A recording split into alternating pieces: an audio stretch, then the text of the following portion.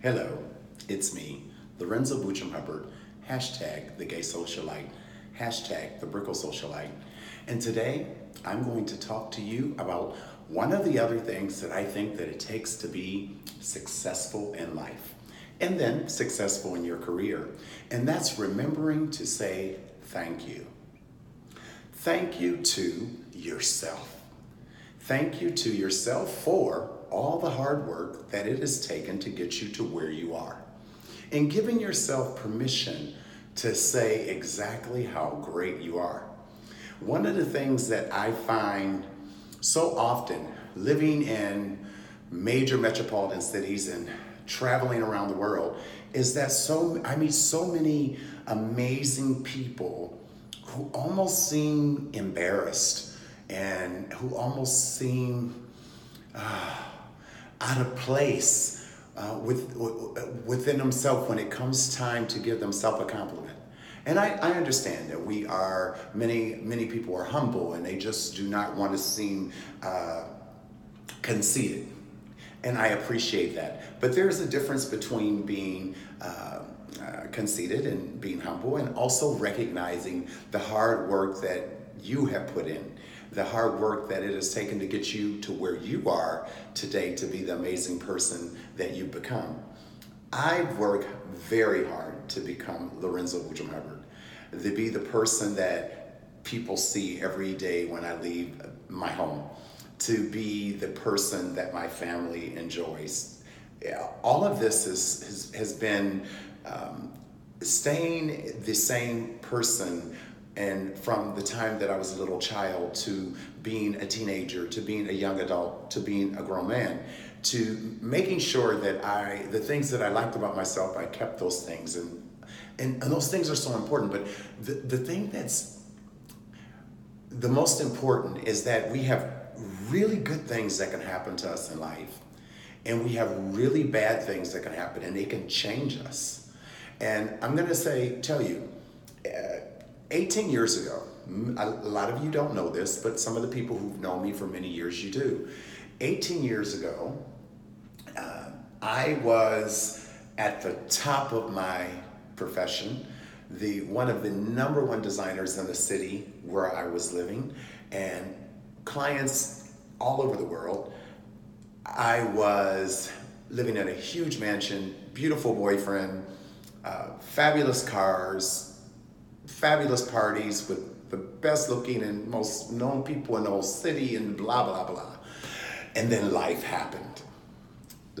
life happened. My boyfriend and I broke up, and one week later, I was the victim of a violent crime.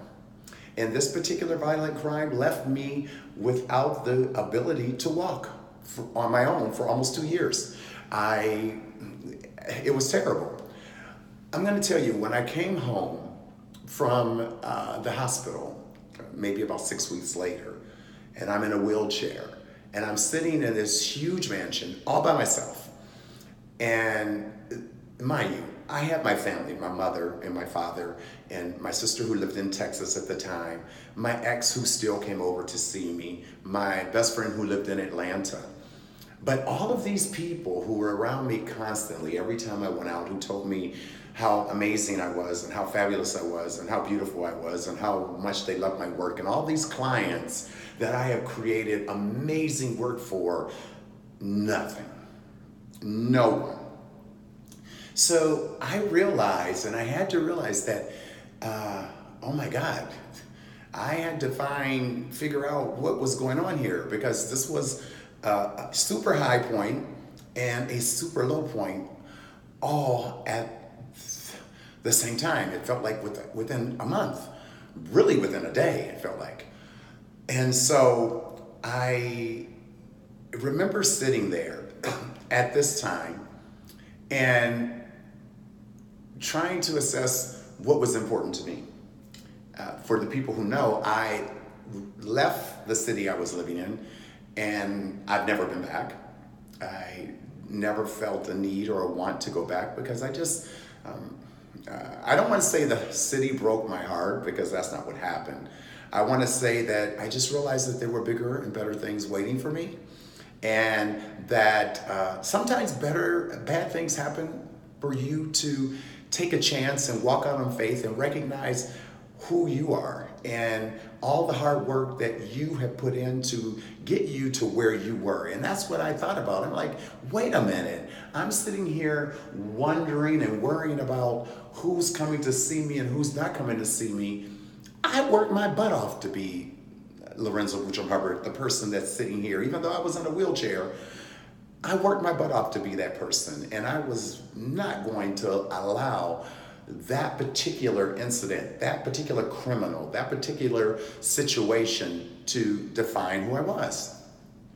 So all of this came back to me, and the reason I'm sharing this is I was cleaning out my library here in my home, uh, and I found my a journal. I keep journals, and I found a journal from 18 years ago.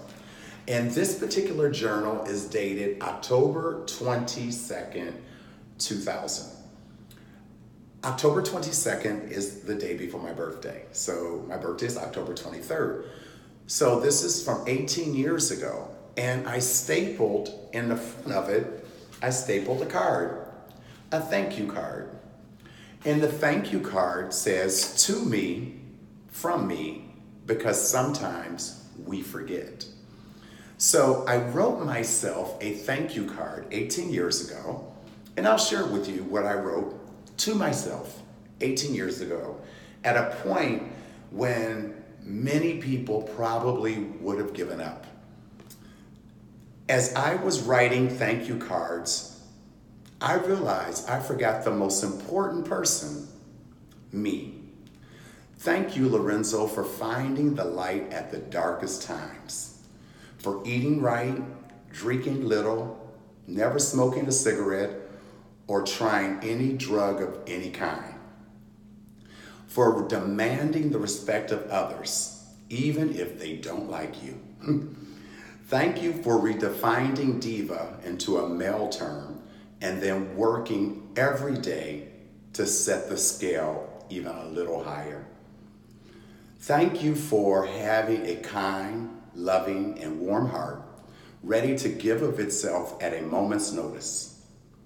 Thank you for taking self examination to create a better you. Thank you for seeing the good in others even when they don't take the time to do the same for you. Thank you for changing the things about yourself that needed it and standing firm behind the ones that didn't. Most of all, thanks for finally watering your spiritual garden and being Lorenzo Hubbard. This is something that I wrote myself, and even though I wrote it 18 years ago, I think that it is something that applies today because I am the exact same person. And I would like to challenge every last one of you to do the exact same thing. Write yourself a thank you card and write yourself a thank you card thanking yourself for the things that you actually like about yourself the things that you wouldn't change, the things that you would change, and maybe open it 10 years from now. I wrote this at the lowest point ever. And even today, when I have survived that, I survived that. I am here standing. You know what? I'm the shit. I am I, I am unapologetically Lorenzo. And there are some people when I say that I'm the shit or I'm Lorenzo bitch, they don't understand. I have worked my ass off to be Lorenzo. So I'm sure that there are other people out there that you've worked your ass off to be you. And you deserve to say, I am blah, blah, blah, or I am that, because you worked your butt off to be all of that. And I'm sure it wasn't easy. And you deserve to write yourself a thank you card. And I tell you, when it comes to your career, when it comes to everything that you're trying to do, when you're unapologetically yourself, when you give yourself the permission to be absolutely fabulous, and you know how to say thank you to yourself, just wait and see how many people line up to say thank you to you as well and want to be in your presence. I'm Lorenzo Buttram Hubbard, hashtag the gay socialite, hashtag the Brickell socialite.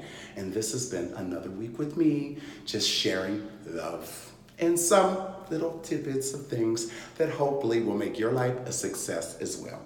Loves and kisses, darling. See until I see you next time.